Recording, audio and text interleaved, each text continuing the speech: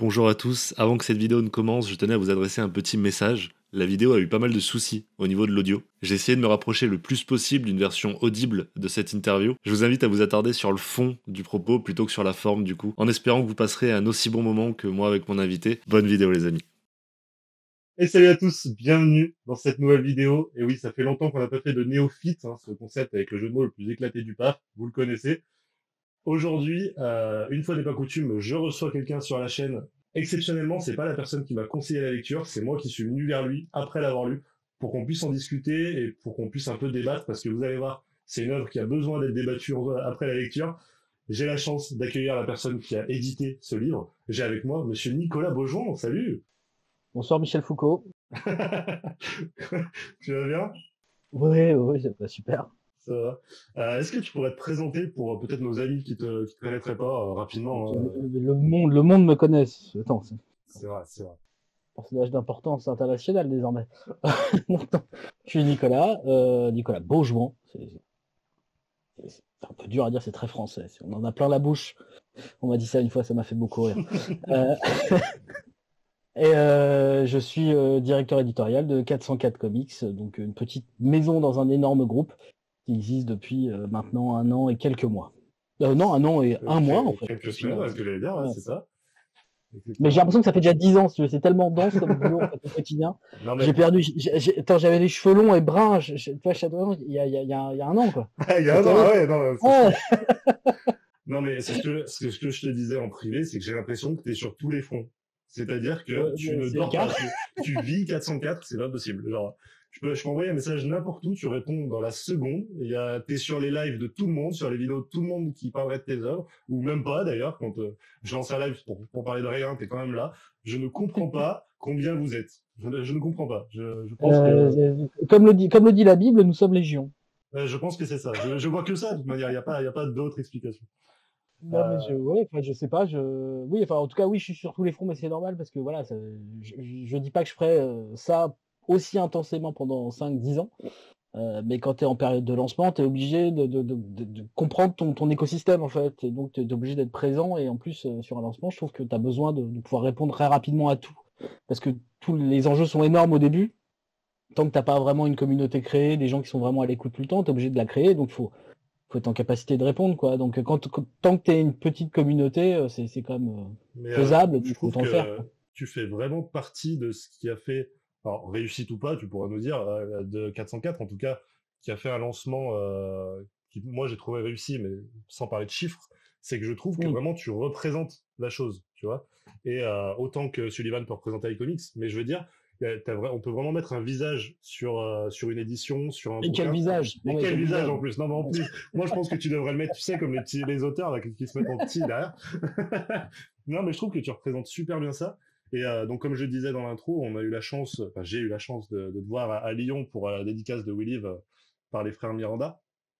Euh, c'était déjà il y a quelques semaines, pareil, il y a un bon mois et demi. Bah, c'était en février, c'est ça? C'est ça, j'étais en train de me dire aussi février. voilà, là, Attends, non, oui, c'est fin février à ce moment-là, parce qu'on l'a sorti début février. On, c'est ça. Est ouais, un mois après, ouais. Donc c'est fin, fin février. oui, non, mais c'est vrai que le, le, le, temps file, ouais. et avec euh, Wayne et Fox, on a, on a donc euh, eu la chance de rencontrer les auteurs et par la même occasion de se rencontrer, puisqu'on parlait un peu en privé euh, ensemble avant ça. Et, mais laisse-moi te dire quelque chose, tu es une personne autant passionnée que passionnant. C'est, on était d'accord entre avec Fox et Wayne, si on n'avait pas eu le train à prendre, maudit train, maudit SNCF, je pense qu'on aurait pu parler des heures avec toi. Quoi. Vraiment, c'est c'est pour ça que je voulais autant t'avoir sur la chaîne, c'est que, que, les gens découvrent la personne. Vous à partir de maintenant, en fait. Je me je fais la gueule. Exactement. et, tu me fais mentir. C'est ça, exactement.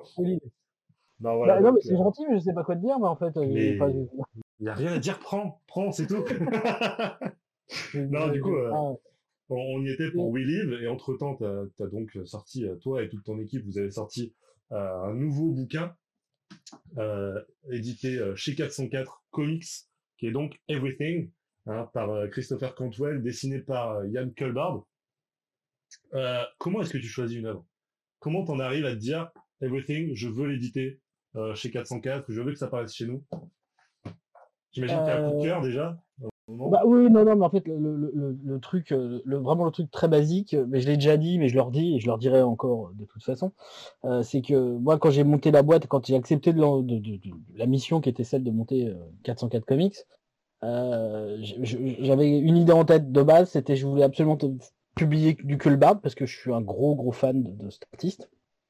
Et donc, je lis tout ce qu'il publie en Angleterre, chez Two Thousand ID, ou aux États-Unis, chez Dark Horse, et chez d'autres. Et, euh, et quand, quand, Everything est sorti, a commencé à sortir juste un peu avant le confinement.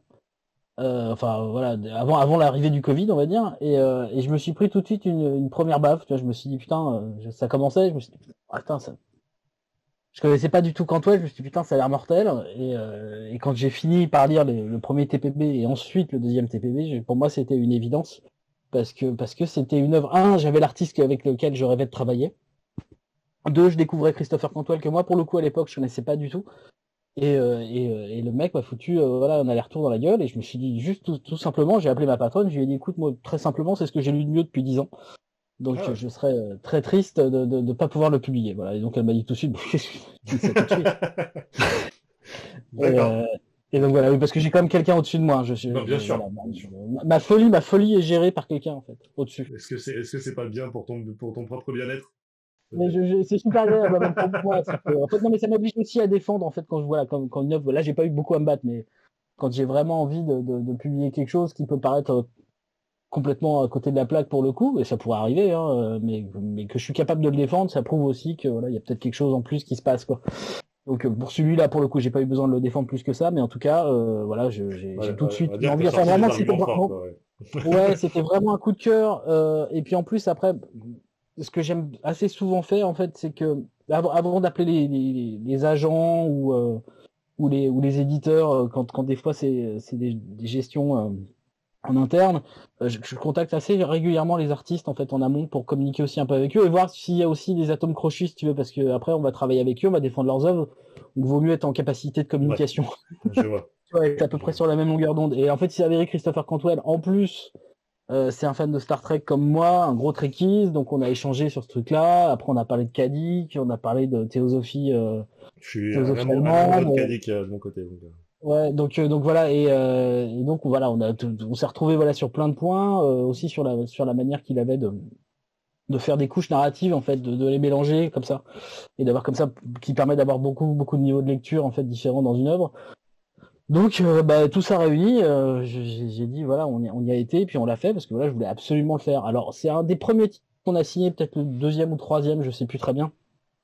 Mais je savais que je voulais pas le sortir tout de suite parce que vu que c'était une œuvre complexe, je voulais attendre qu'on ait une relation plus plus simple avec les journalistes, avoir créé, avoir créé, tu vois, un environnement parce que c'était un, c'était un qui potentiellement pouvait aller très rapidement au casse-pipe parce qu'il est compliqué.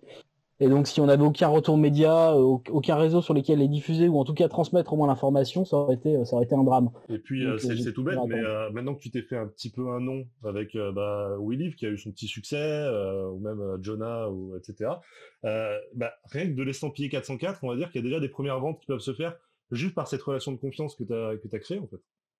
C'était pas gagné pour le coup, ça je pouvais pas le savoir au début. Je savais pas qu'on aurait, qu'on aurait ce moment-là. Clairement. C'est comme, euh, même, je salue Christopher de, de, de, de Comic Zone, euh, euh quand, quand, on a, quand, on a, quand, on a, quand on a mangé, quand on a bu des coups après, euh, après la, la dédicace, il me dit, mais il y a des mecs qui gueulent parce que tes dos, c'est pas les mêmes, quoi. Je sais, ouais, mais je m'en fous. Alors, justement, j'ai adoré, j'ai adoré ce dos-là. Non mais genre rien que le côté euh, vertical qui qui casse avec le côté. Non mais ça, ça, ça, je trouve ça génial. Je te dis quand je le vois dans ma bibliothèque, je trouve ça génial. Non mais euh, voilà. Bah, en fait, le, le, truc c'est auquel euh, souvent, enfin moi, mon métier de base en fait, c'est la direction artistique dans l'édition. Et, euh, et c'est vrai qu'un des premiers trucs qu'on t'explique, enfin qu'on t'explique, non, que tu découvres quand tu commences à travailler dans l'édition, c'est que c'est qu'un livre, il a une durée de vie. À l'époque, ça devait être 3-4 mois quand j'ai commencé à travailler. Aujourd'hui, la durée de vie d'un bouquin, c'est maximum un, mois sur les étals quand tu as du bol, en fait. Ah bah Et donc, en fait, la durée de vie, la plus, ton bouquin va plus passer de temps dans, dans, un, dans une étagère, dans un magasin, que, que sur une étale. Donc, en fait, il faut que ton dos soit aussi puissant, en fait, que ta première de couvre, quoi. Je, donc, pense, euh, je pense que c'est pas mal réussi. Ouais, donc c'est un travail que je fais, que j'aime bien, que j'aime bien faire sur tous les livres, qu'ils aient vraiment, c'est aussi, aussi cet attrait en fait juste sur la tranche. Mais euh, voilà, mais par contre, a priori, ça plaît pas à certaines personnes. Ils sont plus habitués, voilà, aux collections urbaines euh, ou autres. Et, euh, et moi, c'est pas du tout. Enfin, moi, c'est ça me, ça me répulse presque directement en fait, si tu veux. Si j'arrive et que je vois des dos identiques, moi, urban, j'en achète pas du tout. Et c'est pas parce que les bouquins sont mauvais, mais c'est parce que en fait, techniquement, quand j'arrive devant ce truc-là, moi, ça me déprime en fait profondément quoi. Parce que j'aime le livre. C'est un peu, c'est un peu si tu l'achètes pas tout de suite, t'es un peu perdu directement. Enfin, je veux dire, si, si t'es pas attiré par la, par la cover quand il est mis en étal, si t'arrives deux semaines après pour le retrouver, c'est déjà compliqué. C'est ça le problème. Et puis, moi, moi, si tu veux, j'aime pas ça parce que pour moi, c'est ce que j'essaye de défendre moi de mon côté parce que c'est ce que j'arrive pas habituellement à trouver dans l'édition dans euh, de comics, euh, on va dire, en, en France, quoi. Même s'il y a des boîtes qui l'ont fait très bien, genre Akileos et compagnie ont fait un boulot exceptionnel à ce niveau-là, mais mais bon, on n'en parle pas suffisamment. En tout cas, on parle pas suffisamment d'eux. Et euh, mais je voulais absolument que chaque livre, voilà, ce soit, ce soit une, une entité propre. Euh, la, la, collection, si tu veux, le fait qu'on qu ça appartienne à 404 comics ou, ou autre ou graphique, là, comme on a fait une collection pour pour Everything, euh, c il faut il faut que ça disparaisse dans, dans l'œuvre en fait. C'est-à-dire qu'il faut que tu puisses la retrouver, mais ça ne doit pas manger le reste. Quoi. Et donc mais bon, voilà, en, tout cas, on, on, a été à, à contre-courant, en tout cas, de, de ce qu'on nous disait de faire, en tout cas, ce que le marché, en tout cas, nous disait de faire. Je, je voulais aussi aller, enfin, je suis une tête de con, donc en fait, s'il faut aller là, je vais là, en fait. Non, mais après, c'était un risque, euh, mais en même temps, un risque payant, j'ai envie de dire, parce que si, si tu arrives dans un marché qui est déjà presque saturé, on va dire, par, euh, par deux très gros éditeurs et, et plein de petits, si tu arrives et que tu fais la même chose que, bah, finalement, est-ce que tu disparais pas dans, dans le tas, tu vois? Là, tu arrives, tu proposes quelque chose de différent. Alors oui, ça risque de se casser la gueule. Est-ce que ça a été le cas ou pas bah, C'est toi, qui, toi qui le sais, mais... Bah, non, mais disons que on n'a pas bénéficié des meilleurs augures, si tu veux, pour le coup. C'est-à-dire qu'on est sorti en plein milieu de, de, enfin, de Covid. Euh, derrière, crise du papier des matières premières. voilà, matières premières. Derrière la guerre en Ukraine, les plaques d'aluminium. Bon, je sais pas, moi j'attends les extraterrestres, tu vois, ou un truc comme ça. Ouais, non, mais euh, c'est... Non, non, mais c'est vrai que c'est bien visé. Ben, donc, donc au final, si on peut pas juger réellement du lancement, en tout cas de la, de, de la, difficulté qu'on a pu avoir au lancement, on peut pas la juger à l'aune d'une réalité en fait qu'elle aurait pu être sur un marché normal en fait. Donc c'est toujours très particulier parce que quand on a fait nos premiers titres, ils ont pas forcément très bien marché. Mais quand je regardais les chiffres toutes les semaines et que je regardais les autres, je me disais bon bah finalement euh, tu vois euh, on n'est pas là depuis 20 ans mais on vend pareil quoi. Donc euh, donc bon bah, voilà quoi. c'est la difficulté du marché aujourd'hui, c'est que tu as, très petit qui s'équilibre et que notre boulot nous c'est de réussir à équilibrer 100% de nos titres en fait. Donc, euh, donc au début c'était compliqué et en fait on sent qu'à chaque titre qui sort, voilà, ça, ça s'améliore et que les, les, résultats sont de mieux en mieux en tout cas. Et chaque, et chaque, livre bénéficie effectivement, comme tu le disais, en fait d'un rebond quoi. Donc euh, chaque livre rebondit sur l'autre, même s'ils sont très différents, ça nous donne quand même. Euh... En tout cas, je, je, sens de plus en plus d'attentes de la part des, des lecteurs quoi. Moi, là, hein. là, encore, moi j'en vois euh, dans la communauté, tu sais, on a, nous on a un petit Discord où on discute tous ensemble, et j'ai vu par exemple pas mal de ventes, enfin de, de personnes qui ont acheté Dunce par exemple récemment, qui était pas le premier bouquin qui est sorti, mais euh, qui était qui. qui... Si, les deux premiers, les deux premiers voilà. Big Girls et Dunce en même temps. Et bah, et bah voilà, et je vois que les gens bah, commencent à s'intéresser rétroactivement euh, au début du catalogue grâce à ce qu'ils ont pu lire, par exemple sur Willy ou Jonah, par exemple. Quoi. Non, mais c'est cool. Et en fait, on le voit, moi je le vois des fois sur des chiffres, il y a des pops comme ça. Euh, J'avais vu qu'après Willy, justement, euh, on, a, on avait eu comme ça quelques, quelques achats. Enfin, tu, tu, sentais bien que ça faisait gonfler certains chiffres qui étaient un peu plus bas avant, quoi. Mais, euh, mais ça, c'est rigolo et c'est su, super agréable. Mais, c'est ce qui, ce qui va être le plus important pour nous maintenant, c'est vraiment que les titres, en fait, euh, quand, quand, quand, ils sortent en fait de, vraiment de l'actualité, c'est un titre comme Autonome, il continue à bien se vendre, par exemple. Bien sûr. Il est plus du tout dans les tops, mais il est à la limite de rentrer dans le top toutes les semaines, quoi. Et, et ça, c'est agréable parce que ça veut dire que c'est des livres qui vendent, tu vois, 30 exemplaires par semaine. Et à partir du moment où tu fais 30 exemplaires par semaine, mais toutes les semaines, Là, ça devient cool. ça veut dire que, non, mais ça veut dire que ton titre, tu vois, il vit bien parce que parce que c'est c'est un titre qui est pas encore équilibré, mais qui est proche d'être équilibré. Euh, We Live, c'est un titre qui est pas encore équilibré, mais c'est un, livre, un titre qui va être équilibré d'ici quelques semaines. C'est qu'une question de temps vraiment maintenant. C'est vraiment très et, euh, et, et, puis Everything fait un lancement euh, qui est, qui est au-delà de tout ce que j'aurais pu espérer. Alors maintenant, est-ce que ça va tenir? Est-ce que ça va tenir? Ça, c'est une autre question. Ça, c'est, euh, c'est, c'est le problème, c'est que l'actualité remplace l'actualité, donc il faut que les gens aient encore envie. Après, Même si la chance qu'on après, a vraiment le travail des libraires, des. euh, bah voilà, c'est ça. C'est-à-dire que la différence, c'est que on a, on a commencé à avoir quelques coups de cœur sur Jonah, tu vois, comme chez les libraires, euh, quelques autres ensuite derrière euh, sur We Live. Puis alors là, j'ai jamais eu autant de coups de cœur euh, que sur Everything. C'est vraiment genre j'ai. Ouais, j'ai c'est vrai que j'en beaucoup beaucoup passer, et du coup, comme je le disais en intro, bah, je me sens un peu euh, différent. me sens un peu à part.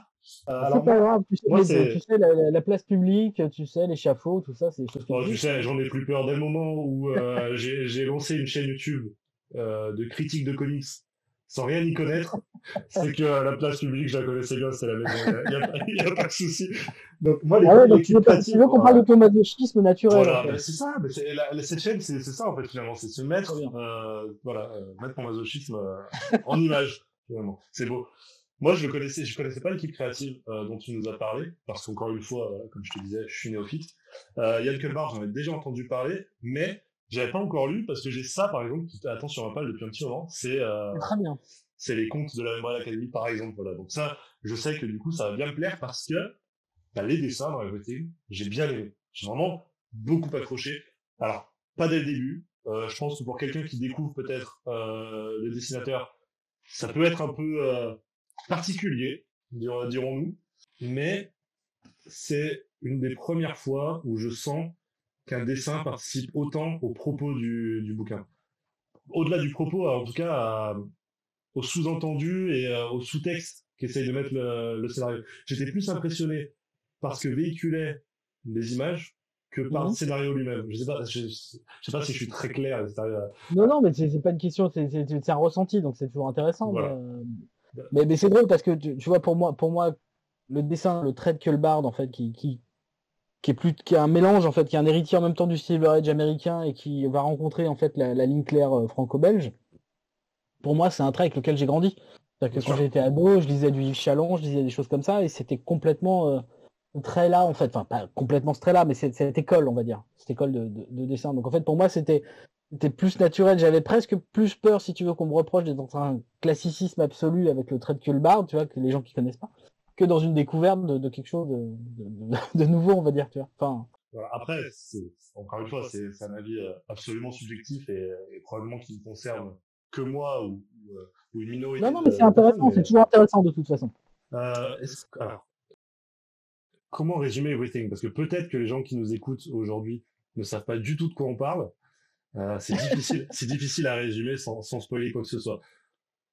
Grosse, bah, parce que j'aime bien, parce qu'à chaque fois qu'on nous parle d'un résumé d'Everything, les gens résument pas l'œuvre. Tu sais, ils se mettent. euh, j'ai vu Mills en a parlé euh, récemment sur, sur sa chaîne. J'ai, vu que t'avais, t'avais regardé. Ils, ils prennent vraiment le propos de l'œuvre. Tu sais, ils te disent euh, bienvenue chez Everything, bah, comme c'est comme c'est euh, indiqué ici. C'est très intéressant. Les gens ne prennent pas euh, le risque entre guillemets de résumer l'œuvre autrement que par par euh, cette, cette fameuse phrase, tu vois, qui ils te disent plus qu'un magasin, la promesse du bonheur. voilà, vous trouverez tout ce que vous voulez chez Everything. Bah c'est ça en fait. Everything, c'est l'histoire d'un magasin qui va arriver dans, une petite ville, qui va s'ouvrir et qui promet euh, ben, de trouver tout ce que vous voulez, pourrait participer à, créer votre bonheur. Est-ce qu'on s'arrête là pour le résumé ou est-ce qu'on va dans la deuxième partie, dans, ce qui correspond au deuxième TPB finalement? En fait, ce qui- est, drôle, c'est qu'en fait, euh, Everything, tu peux, tu peux, en fait, tu peux dire beaucoup de choses. Si tu mets pas de lien et de lien, ça a pas de sens. Donc, en fait, c'est ça qui est sens. intéressant. Donc, je peux te dire qu'effectivement, il y a un supermarché qui s'installe. Je peux te dire qu'il y a des robots, des extraterrestres, un ours qui parle, euh, et une boucle temporelle. Voilà. Voilà. Euh, Démerdez-vous. Démerdez-vous. Démerdez-vous avec ça. Non, mais c'est vrai, c'est vrai. Et euh, bah, écoute, euh, on en parlait euh, avec, euh, avec le crew, donc un G Comics, euh, Mix, etc. Quel est le genre, selon toi, de Everything? Parce que nous, on se demandait Non, si c'est de la SF, dirais c'est compliqué. Un conte métaphysique urbain. Pouah, euh, magnifique, magnifique. Non, c'était accordé sur une sorte de satire sociale, mais je pense que, que, que tes mots euh, résonneront bien mieux. Mais c'est ça, c'est très métaphysique. Ça, pour le coup, Ouais. on peut pas l'enlever, c'est très très métaphysique. J'ai- J'aime beaucoup ton, ton interprétation, comme quoi euh, chacun, chacun y va avec. euh, Bah, c'est qu'en fait, c'est moi, moi, c'est ce qui, en fait, je, je vais le définir de la manière dont je l'ai apprécié et dont je l'ai aimé, quoi. maintenant, effectivement, certains vont s'attacher à prendre directement la satire sociale, effectivement, qui est présente, la critique du consumérisme, qui est présente aussi, la, question en fait du, de la quête du bonheur, quel, est le coût de, cette quête ou pas du, du, bonheur, le fait que le monstre qu'on cherche à détruire est toujours en nous et en fait c'est celui qu'on crée en fait en, voulant justement euh, promouvoir le bonheur. Enfin, t'as as plein d'éléments comme ça, c'est des couches, donc euh, donc euh, t'as as un peu tout quoi. Il y a, y, a, aussi l'idée, moi ce qui me fascine aussi beaucoup dans l'œuvre et comme dont, on, dont Aurélien en fait a parlé aussi dans, dans sa postface, c'est cette idée que, que en fait le personnage, un des personnages principaux, je, je voudrais pas trop en dire donc euh, machin, euh, est fasciné par une série télé ou un film, non c'est un film qu'elle regarde en boucle. Et en fait, tu te rends compte, en fait, finalement, à un moment donné, pourquoi en fait elle est fascinée par ce récit, c'est parce qu'elle l'est dans ce récit.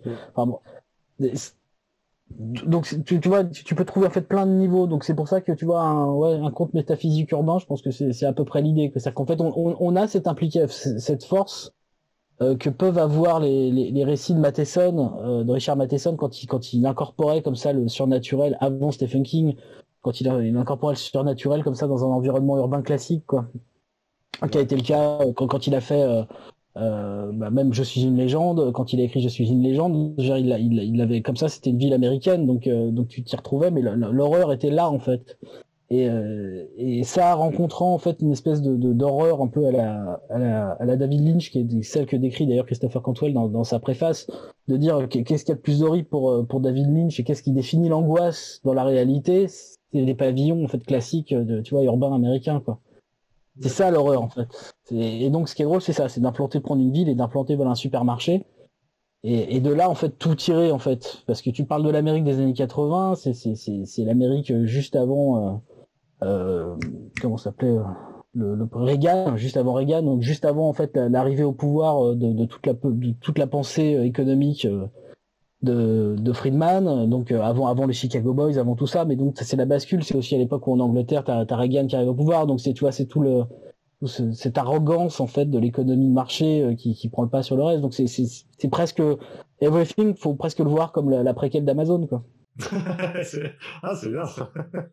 non mais parce que j'allais dire, est-ce que tu crois pas que euh, c'est presque un peu trop un fourre-tout?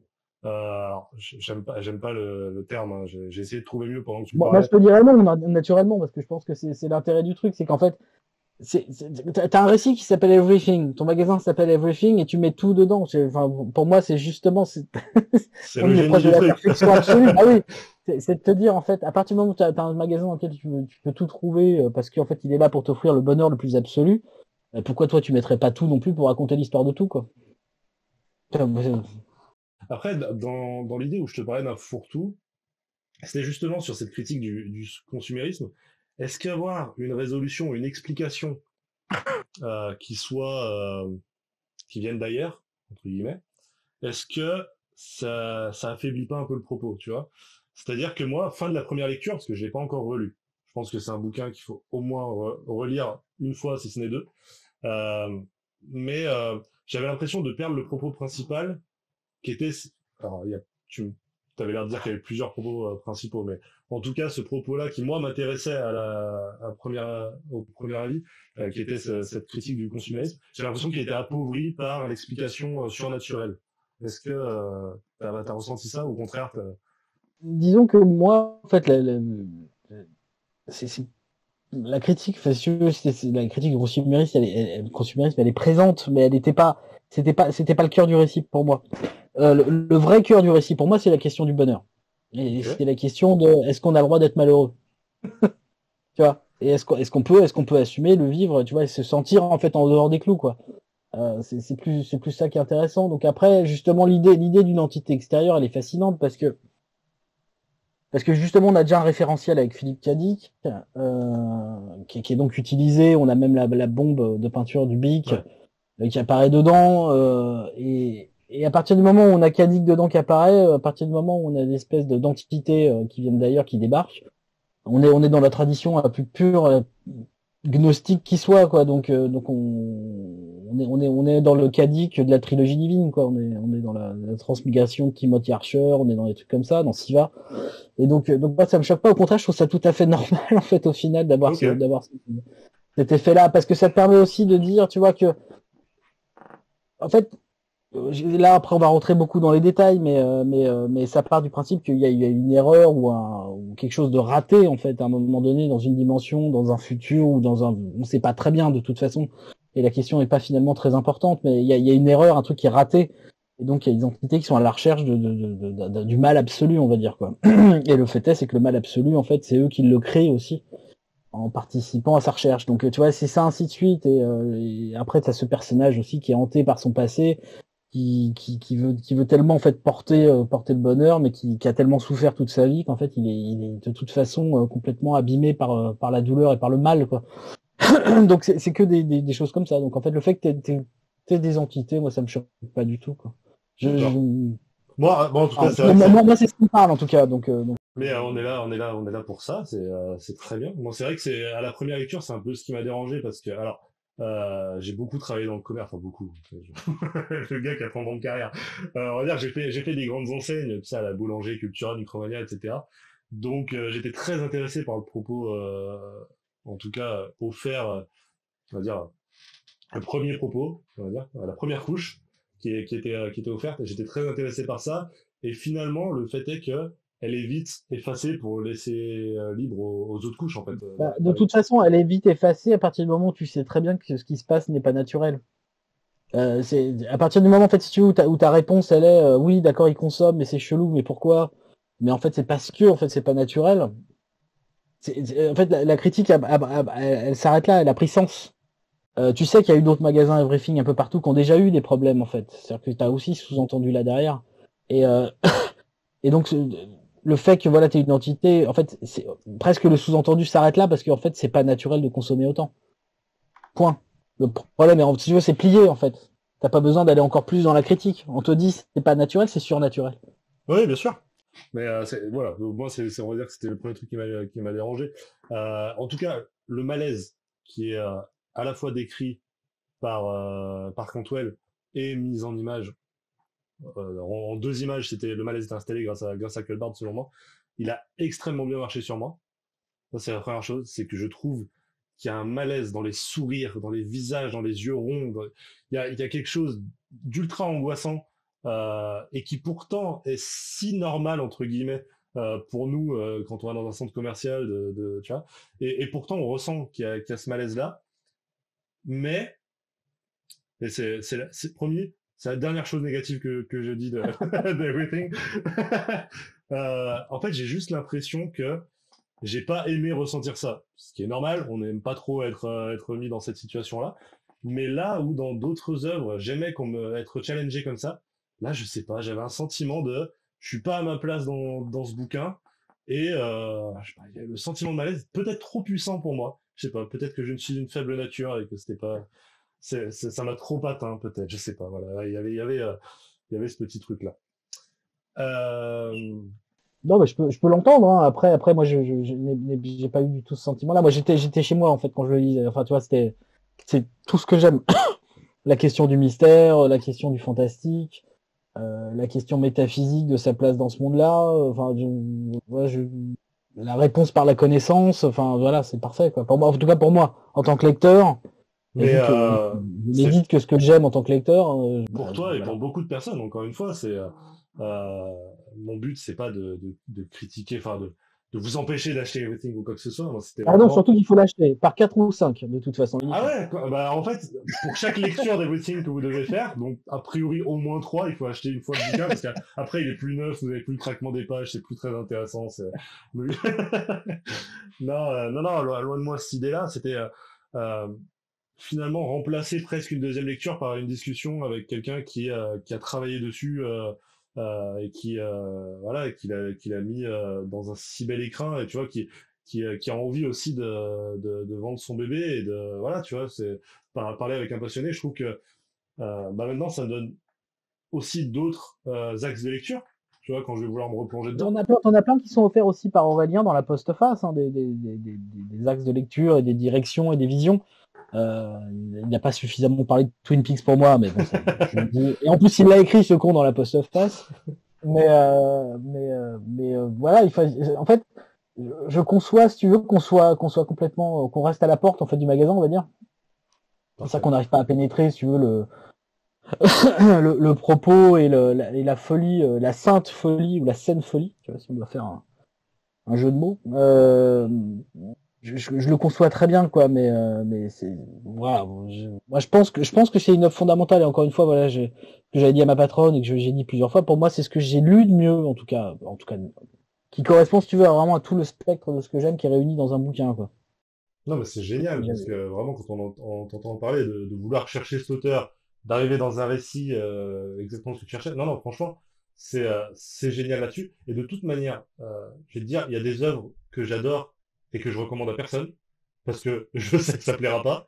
Et il y en a d'autres les, auxquelles j'accroche pas forcément et que je recommande avec plaisir. C'était le cas de plein d'œuvres j'ai fait kiffer les gens comme ça.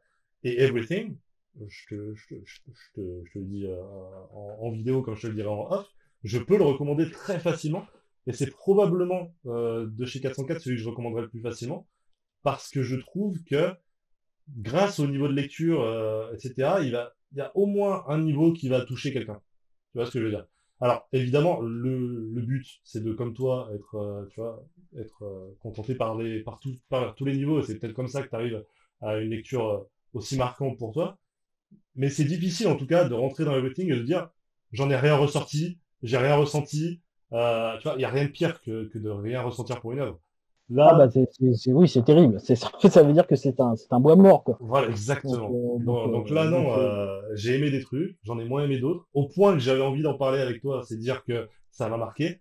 Donc non, moi je vous recommande Everything avec tout ce que j'ai et, et, je pense que je pense que vous allez kiffer. En plus, maintenant on peut parler de l'édition parce que c'est, c'est quand même, on peut conclure là-dessus. c'est, c'est quand même ton domaine.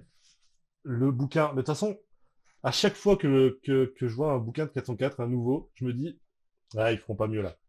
Honnêtement, euh, Jonah, moi j'adore euh, l'édition que j'ai, je la trouve absolument exceptionnelle, euh, c'est génial. Willy avec le, la peau de pêche, etc., c'est parfait.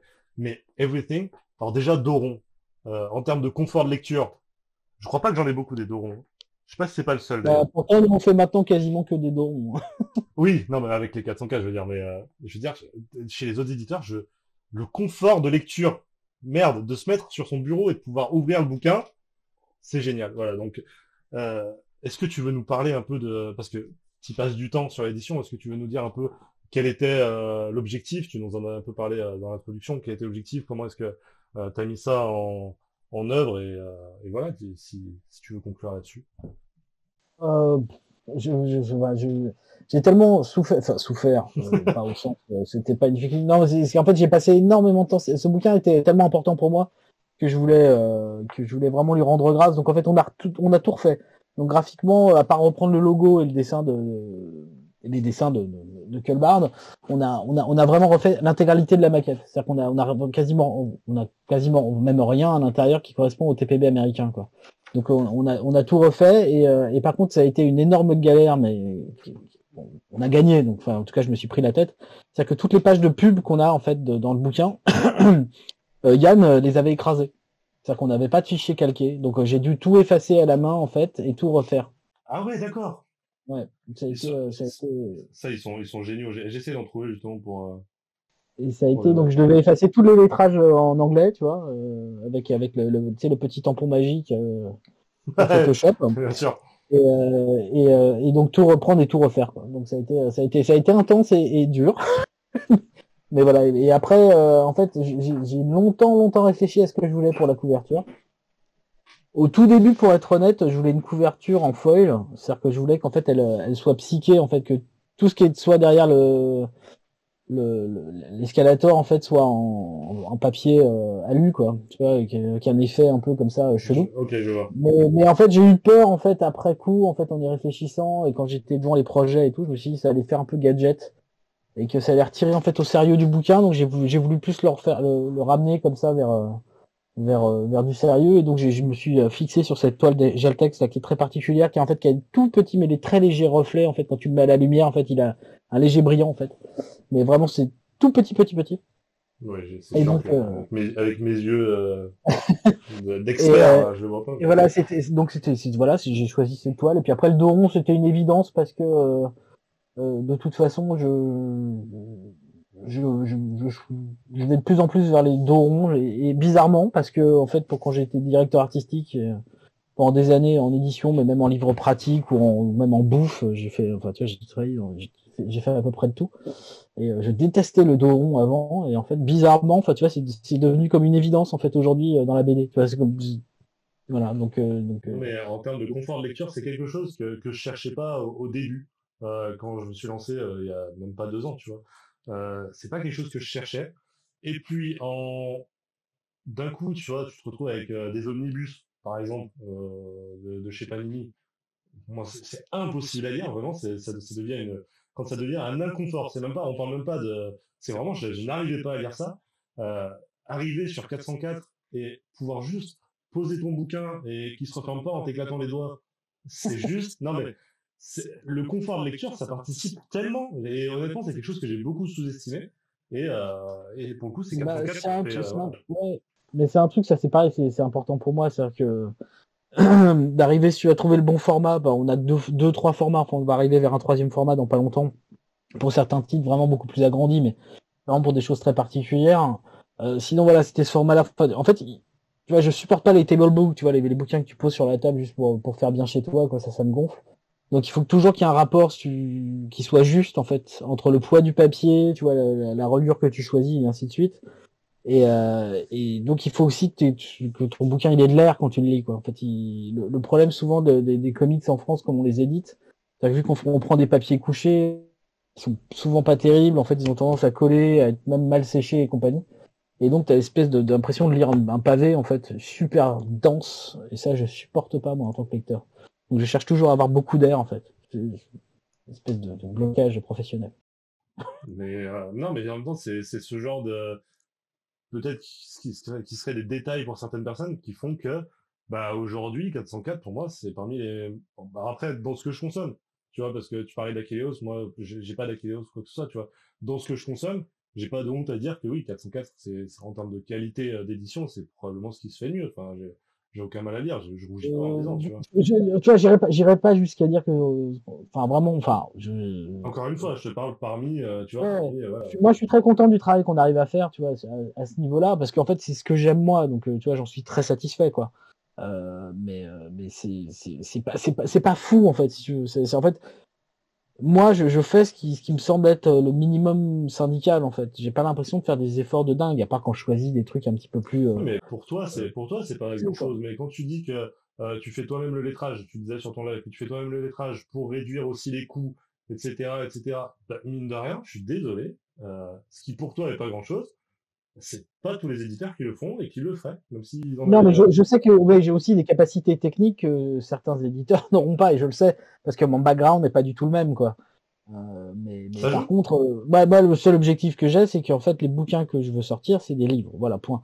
Euh, je, je, je, veux pas, en fait, si tu veux qu'on voit le bouquin, on se dise, ah bah oui, c'est un Mickey ou c'est un comics. Non, c'est un livre. Donc, en fait, il doit aussi être aussi respecté dans sa forme que dans son fond, tu vois, et qu'il il doit, il doit prendre sa place dans une bibliothèque, quelle qu'elle soit, quoi. Moi, ça m'a toujours gonflé les questions de genre, donc euh, donc euh, moi je pense que tu vois, faut pouvoir lire, tu vois, Yursenar et Philippe Cadic le lendemain, ça, ça doit être logique en fait. mais euh, mais en tout cas voilà, il faut, faut voilà, en tout cas je, je veux qu'il soit respecté. En tout cas moi en tant que lecteur, euh, je, je, je, je, veux acheter un livre. Je veux pas acheter un, un comic book, tu vois. Je, veux acheter un livre. Voilà. Donc j'essaye de faire. Moi, ce, ce qu'on fait, c'est juste ce que j'ai envie de lire, dans, dans le fond et dans la forme, quoi.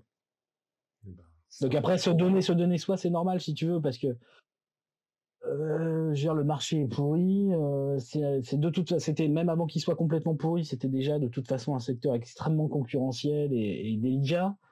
Euh, donc, si tu donnes pas de toi, je, je, voilà, tu vois, faire des lives comme on fait là, si tu veux, pour moi, c'est contre nature, mais il faut que je le fasse. C'est normal. Non, non, mais je prends plaisir à échanger avec toi, c'est pas la question.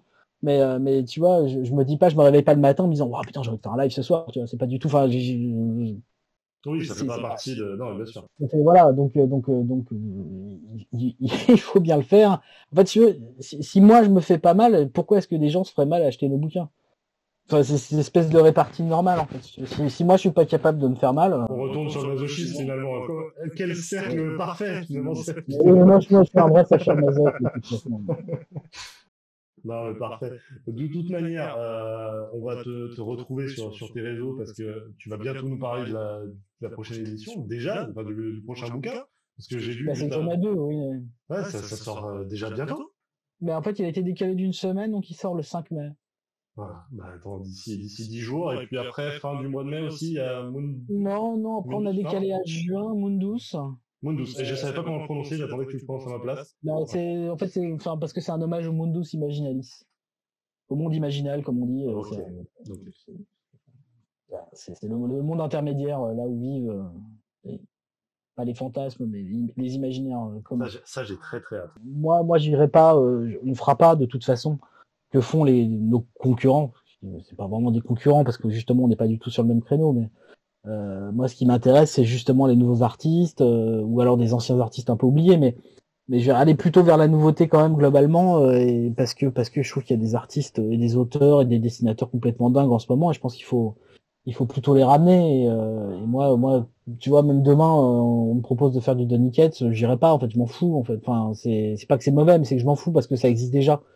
Ouais, et puis ça, ça n'empêche pas que, que d'un coup euh, l'artiste peut exploser. Euh, alors, oui, oui, oui. Voilà. Non, mais ce que je veux dire, c'est que voilà, tu vois, on n'ira pas, on n'ira pas sur le terrain si tu veux claquer du pognon pour acheter des, des droits, euh, tu vois, pour sortir des titres euh, qui, qui sont des artistes déjà bien installés. Ça nous intéresse pas du tout. En tout cas, moi, ça m'intéresse pas et, et, dans la maison non plus, parce qu'en plus maintenant on a Black River, donc euh, donc eux seront capables d'aller dans sur ce genre de truc, quoi. Super. Donc on, on va se, se répartir le, le boulot. Génial. Les amis, euh, comment conclure cette vidéo autrement que remercier euh, Nicolas d'avoir été là euh, avec moi. Merci, merci euh, beaucoup d'avoir pris de ton temps euh, si, si complet, parce que je sais pas encore une fois comment tu arrives à, à, tout caler, mais, mais merci à toi d'avoir été là sur, drogue. sur, sur mon humble chaîne. Dur, bah c'est nickel. Écoute, moi c'est le café, ça c'est chacun son, chacun son truc. merci à toi, j'espère qu'on se reverra très vite euh, avec grand plaisir. Ou, ou, pour, ou pour autre chose, avec grand plaisir. Ouais. Merci à toi. Les amis, nous on se retrouve mercredi prochain pour une petite vidéo. D'ici là, portez-vous bien, c'est le plus important. Ciao tout le monde.